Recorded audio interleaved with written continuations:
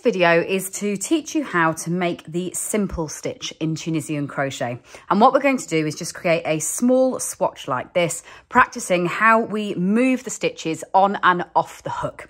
Because the big difference with this style of crochet is the fact that you will actually crochet and keep the stitches on the hook as we go along. And we're working backwards and forwards on those same stitches, always into the same side. We don't turn as we go along. So we're going to start by casting on 12 stitches. So what you need to do is tie yourself a slip knot, pop that onto your hook, and then chain 12 stitches.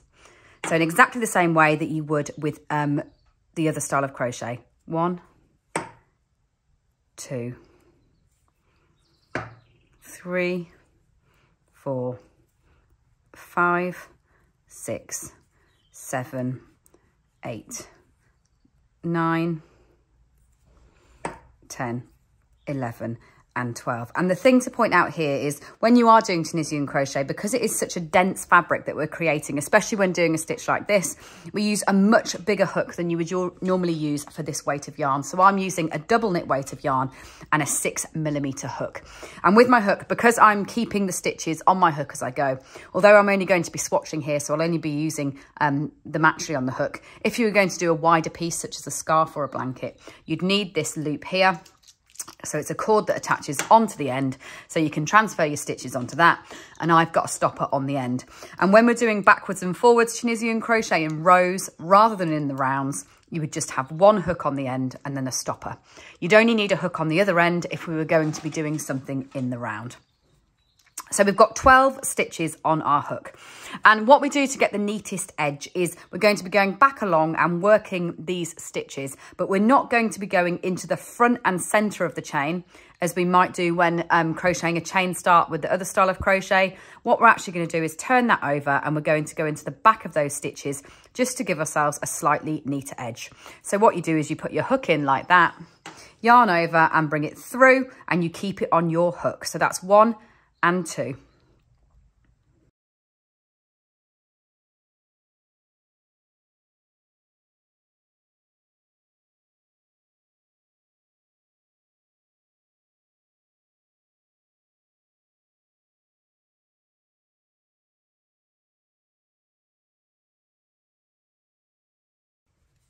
Eleven, and then on the very end, you've got 12.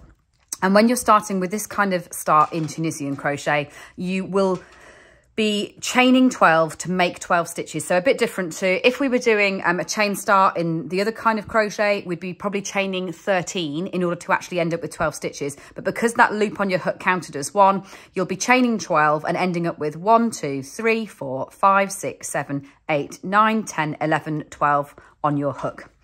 So what we're then going to do is we're actually going to go back the way and we're going to work these stitches, bringing them off again. So what you do is you yarn over and you come through one first like that.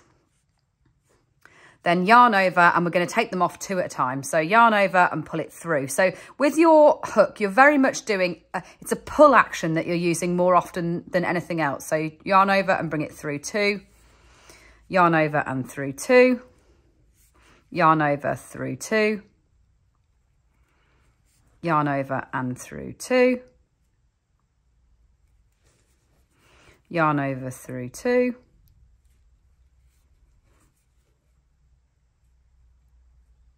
right the way back until you get to one live stitch on the hook.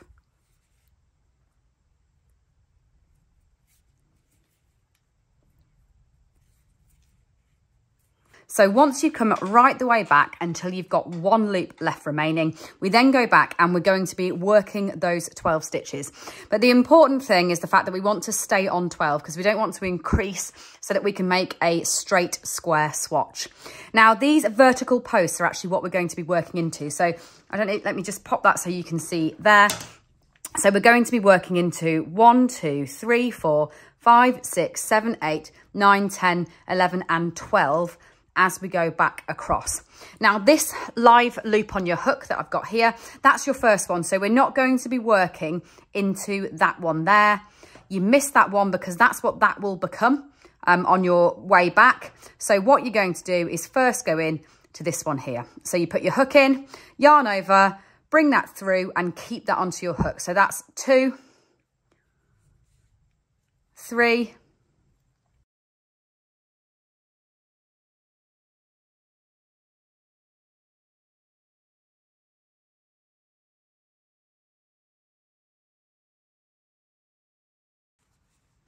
11 and then you are going to go right into the end. You see how you've got that little bit of vertical line yarn sitting there in that line. Go right into that one. That is your 12th one to give you a neater edge. So then we've gone back over. Now it's time to return them back off again till we get back to one loop. So yarn over and come through one initially and then take them off in twos. So through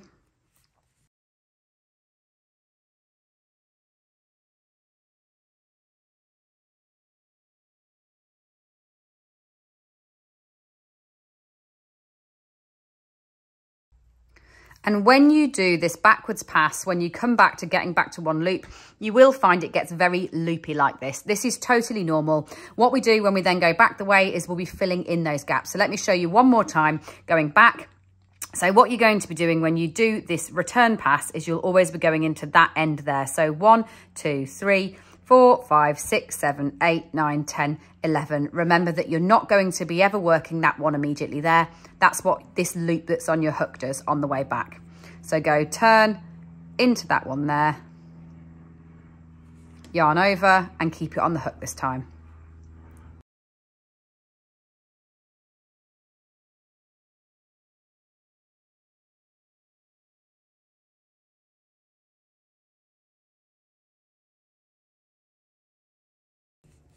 And then the final one, you will always go into that straight bit at the end there and work that one. So carry on doing your swatch and you'll find that your fabric will come together as you'll swatch a little bit of this simple stitch, which is the most basic stitch in Tunisian crochet. All I'm going to show you so that you can keep your swatch is how you would effectively cast off. Um, now there's lots of different ways of doing this and they'll be explored um, in specific projects that you're doing. But if you just want to keep this piece, all I would say to do is when you're doing the um, reverse pass across, just get yourself down to one loop and then you can just pull that off um, and fasten it as we would do normally. And that way you'll be able to keep your little sample piece.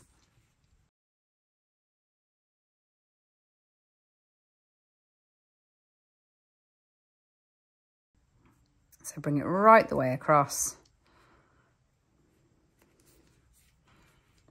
To there, then all you can do is break your yarn, pull that through, and you've got your first little bit of Tunisian crochet fabric.